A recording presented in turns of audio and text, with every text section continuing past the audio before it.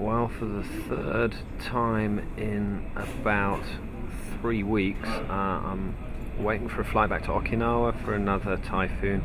This one is Typhoon Jelawat, another category 5 when it was peak strength. So it's really uh, the same old story, uh, back in Okinawa for the third time in more or less as many weeks. And uh, it looks like the southern end of the island is going to get hit hardest this time. Uh, so it's really a case of just scouting the coastal areas. I'm right here by the sea, best place to get the strongest winds. This is a case finding somewhere strong to hole up uh, so we can film the worst of the typhoon uh, as it comes ashore.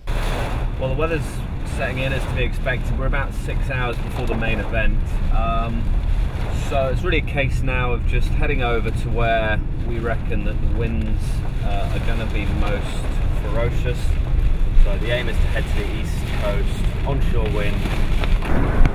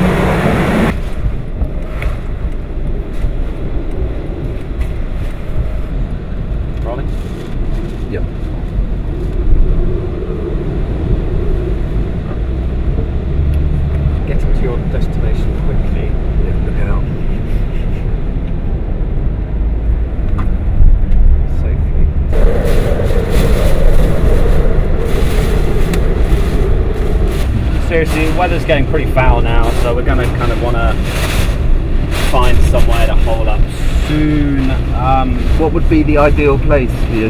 somewhere which is big and got made of concrete and got kind of views, as many views out as possible. Do you want to be by the sea? Not too close after what happened last time. I don't know where we are. We've got there- there's a little place to shelter up here.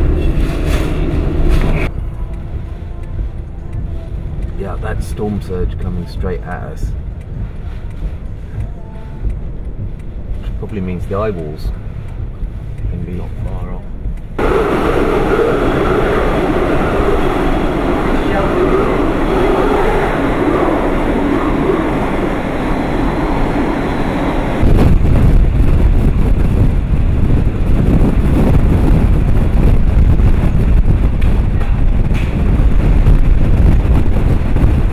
Well, another case of uh, just driving in horrible weather, but we've um, we found a perfect place to hole up and film the typhoon. Solid concrete school.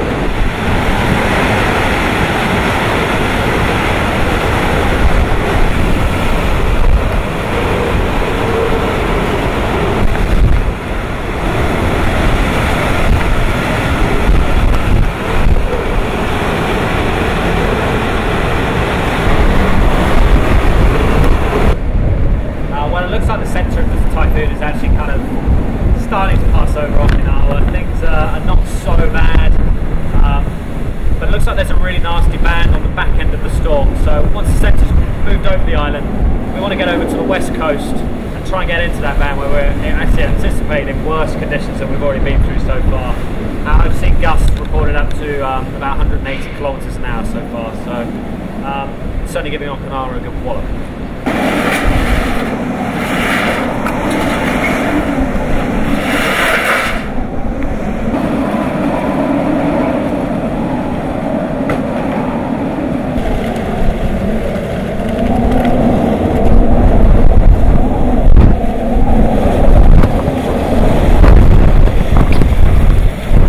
Well, relocating in the eye of a typhoon can be slightly tricky. Um, debris, floods, but luckily that was uh, pretty manageable.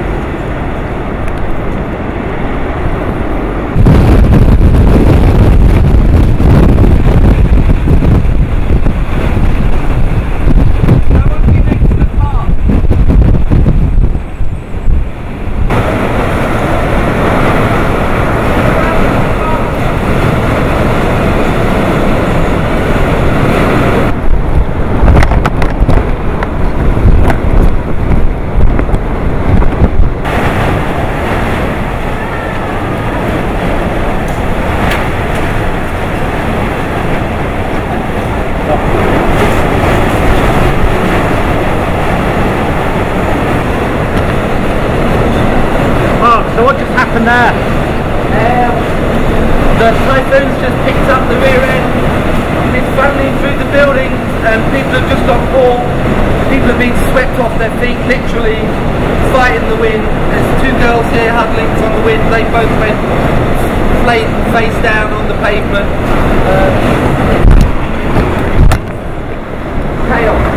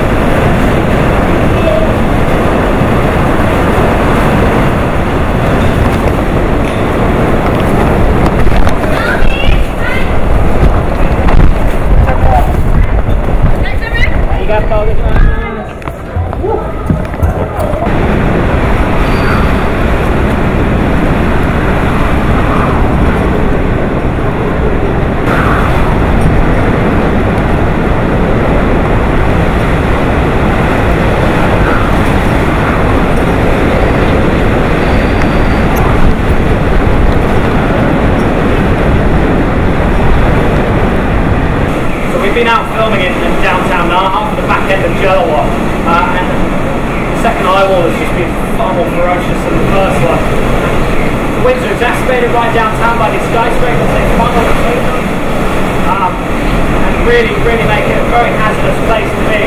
So um, we've been jumping from building to building, running shelter right now in a bank. Um, our hotel's about half, uh, half a kilometre on the road, so we're going to try and get back as safe as we can. Um, and then try and edit some of this video.